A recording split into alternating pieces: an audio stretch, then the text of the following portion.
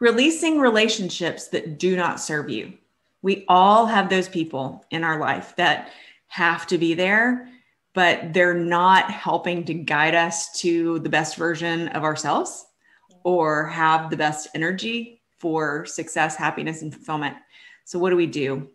We're going to talk about that today. But first, before we give you what we've got, you give us what you got. Hit the subscribe button and the bell so that you know the next time that we drop a video to help you and connect with your woo.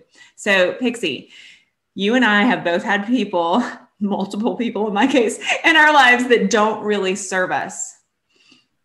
Tell me a little bit about how you come to that realization and how you, in serving your best interest and your energy, help to cleanse that out. Yeah.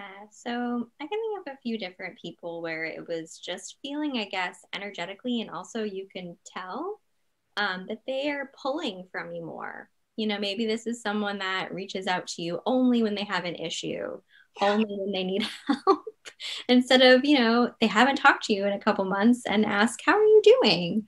Um, you know, you can kind of start to feel into that and feel into, you know, is this person filling my cup as well as me filling their cup, or is this just a one way street relationship? As yeah. you feel into that energetically, what I've done is either I've actually just started to like step back a little bit in communication, not completely cutting them off because there's some people you don't have to burn every bridge. Right. But yeah, I don't, when I say releasing relationships, I don't necessarily mean like severing and closing a door and it's although there are those.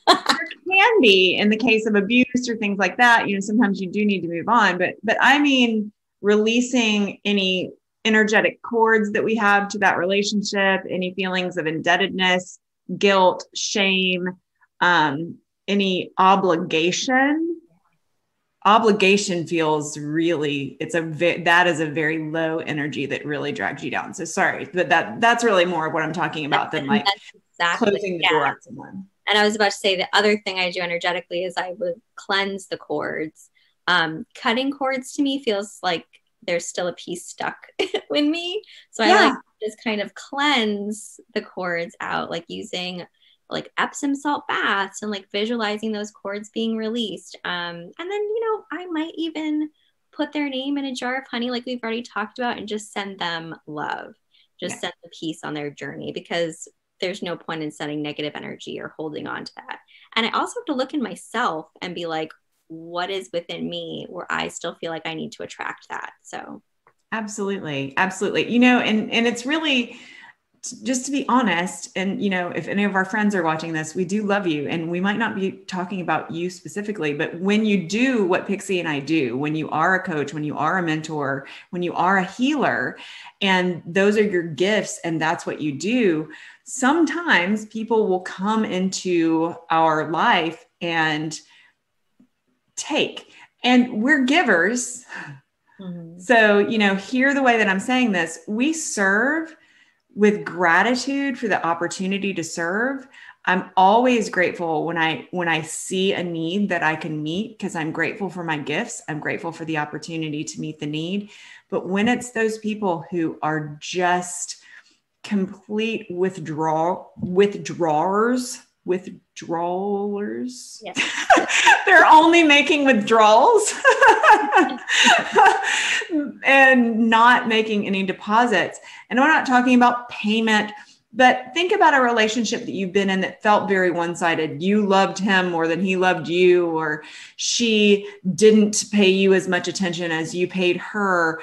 Um, or, you know, again, even if it's, I have, there's two friends that immediately came to mind, Pixi, just a minute ago when you were talking, and they are people who are in my life, but I have to release the, how close we're going to be. I have to release the frequency I have to just let that out a little bit, almost like when you're fishing and you let the line out a little bit so it'll go a little bit farther. I just let the line out a little bit, give myself a little bit more space.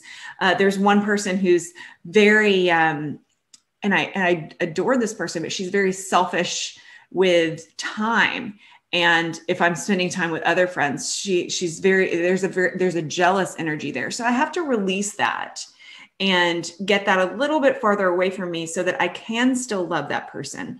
I can still have that friendship that does have some value in there. But when I feel that energy crossing my boundaries, of limiting me from experiencing the other beautiful souls in my life then that that's when it's gotten a little bit too close so i just i release that a little bit out i'm not cutting it i'm not letting it go i'm just releasing it out yeah. a little bit i feel like that's important to kind of give that space too for you because then you can start to again look within and go okay what do what kind of relationships do i want to attract what am I hoping to receive in these relationships? And whether you're talking about a love relationship or a friendship, you can actually step back from these things and like make a list of I would like my future husband to do do do do do do do do and then really embody that, you know, like embody those things that you're wanting to attract as well because life is a mirror.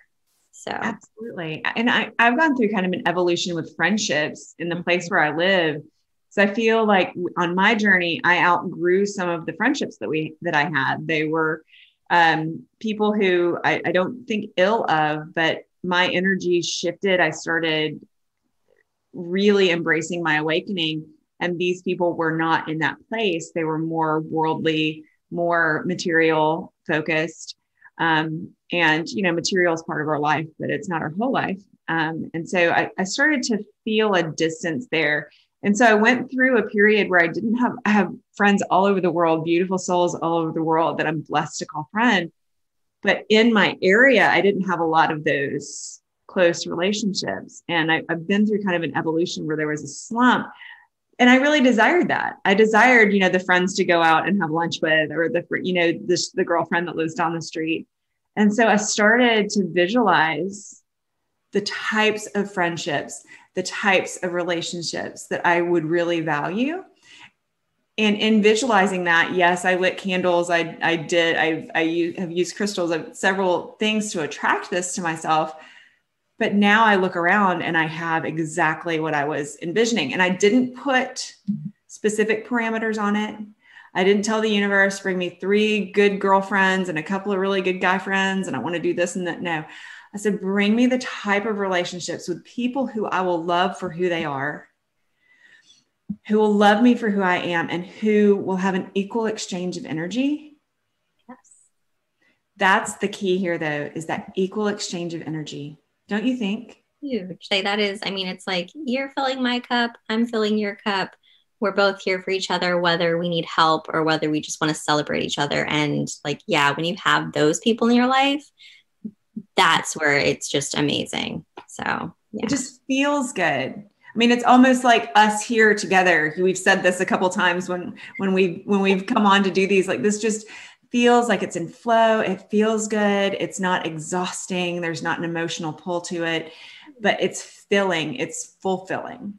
Yeah, exactly. And again, life's a mirror. So we've done our work and here we are. yeah, here we are. And and you know, it's been it's it was the evolution of it did take some time, but we patiently allowed what evolved to evolve and here we are. And really that's manifestation at its finest. So if you guys have any questions about how to release relationships in your life or you know if it's time to release a relationship you know type them down in the comments and we'll come in and we'll answer those for you. Um, i just i think that that we've been really clear with you know equal exchange of energy. And you know i don't know about you pixi but do you sometimes feel as though because of your expertise that there are people who will kind of latch on or because of who you have been to someone in a previous era of your life that that they kind of latch on and, and there's old energy trailing there mm-hmm. oh yeah oh, and what i've noticed too with what i do is a lot of people they want me to give things that i'm giving to clients and sometimes that's for free or whatever and you have to draw a boundary um, because you're not receiving the same type of love yes we can be giving and yes i will show up for them as often as i can in a healthy way, um, but not overly giving where I feel drained. So, yeah, you do kind of have to detach a little bit. Yeah. And make sure that you're serving from a full cup. Yep. very, very important. Just please, everybody know that if there is a relationship in your life that is draining to you, it's perfectly fine for you energetically to take a deep breath. Well, and physically, we should all do that. but to energetically take a deep breath and just pause for a minute. I'm not saying that you ignore this person. Do not do the silent treatment. That is a very low energy, low emotional intelligence tactic. And it's actually a form of emotional abuse. So, not saying go silent treatment, but there there can be a stepping back. Just like i said you know just let the line out a little bit. That jealous friend or that controlling friend or that overbearing family member you can just let the line out. You can wait. You can wait a little while to answer the text. You don't have to answer the phone every time it rings. You can do it on your timing on your terms. With love in your heart that's the key not animosity or hatred in your heart. So it really is the intention from which you are coming that guides the energy with which you release. Yep. That's huge. And if you guys need any help with how to really heal yourself to get to that space, let us know too, because we'll help you out with that as well. Absolutely. Check out the video description. Our contact information is down there.